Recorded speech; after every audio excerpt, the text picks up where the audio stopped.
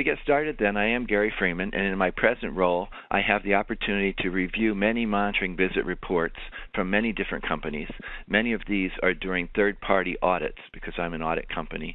We do third party audits for device and drug companies uh, on their sponsor trial master files as well as site audits. So we see the, the records.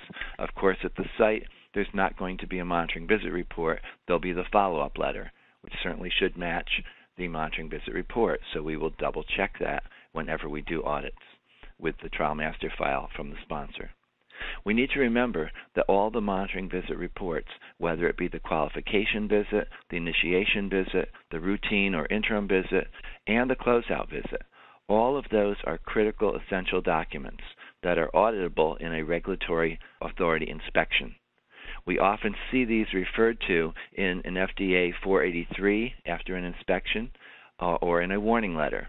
They're going to be listed under the finding of inadequate monitoring. So we don't want to have that hitting on your company. Inadequate monitoring is one of the highest deficiencies noted in FDA inspections and continues to be year after year after year. So let's look at some of the learning objectives that we have for today. First of all, we're going to look at the requirements of documenting monitoring activities for a device study. Where does it say we have to do that? It's going to be in the Code of Federal Regulations and in the International Conference on Harmonization. We're going to look at the importance of a well written monitoring visit. Why does it matter? Besides the fact that it's audited by the regulatory authority. The day to day operation, as well as potential inspections, should be our concern here not just if we should get inspected, but what about in the meantime? Who else does it help? And then lastly, we're going to also look at how can we effectively manage our site and sponsor activities. This is what the monitoring visit report is going to tell the reviewer, how well we are managing our site and our study. And how do we document that appropriately? Remember, the information from the monitoring visit report translates to the follow up letter for the sites. So it's extremely important that we have this well balanced. So let's look then at the requirements of documenting. Where does it tell us that we have to do this and how do we do it? In this graphic here, we're seeing the monitor at the upper left. He or she is writing that report, possibly at the site. We sometimes get some time to pull some of the things together while we're sitting at the site. Otherwise, we're back at our desk and we're writing these reports. Obviously, we're probably using a computer rather than a book, as this girl here is doing in her diagram. We have a manager who's looking at that report in the bottom left. It might be the monitor looking at it after it's been printed out, looking to see that everything is completed. We would hope that there are no blank spaces. It's then going to be moved over into the pile of other monitoring visit reports for this site on the upper right. We need to make sure that one report leads to the next report, which leads to the next report. And so it should go chronologically along. There should be no missing visits, obviously. Unfortunately, there sometimes are.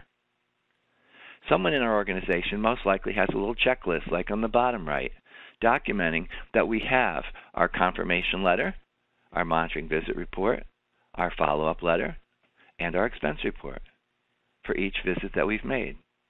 They should be looking to see that we're following our monitoring plan, that the visits are in the time frame that they're required to be. Now, they're not required to be in a certain format or a certain frequency by the, by the regulatory authority. It's by our own monitoring plan, our own SOP. So we need to match that up. Some definitions. First of all, if you could unmute your line and tell me what is monitoring. In your words, what is monitoring? When you go out to monitor, what is, what are you doing? Well, um, there are two major, two big things that um, we look for when uh, monitoring any clinical trial. Um, the first is patient safety. Are patients consented? Are they are are, are safety events being reported? Um, and is the data credible? Um, so those are the two biggest things, data integrity and patient safety. Okay, perfect, perfect. And what type of uh, of studies do you run? What's your therapeutic area? I'm not familiar with your clinical, actually medical device. What type of medical device are you working with? We actually work um, with cardiac ablation devices. Okay, okay, yep. okay. I, I sort of thought cardiac when I saw the atri at the start of the of your company's name, but I w- didn't want to make any assumption. okay, great. So you're talking about some very serious pieces. So we want to make sure that these reports are as technical as possible and give that safety element precedence here. So you're you're absolutely correct. You're looking at safety for the patient, which is number one in FDA's criteria as well as in any regulatory authority across the globe, and also the credibility of the data. Can we trust what we're getting? Because this is what we're going to be telling the FDA when we prepare our ND, our um, PMA for them that all the data in this report is accurate and complete, and that we've cared about the safety of the patient. The patient always comes first.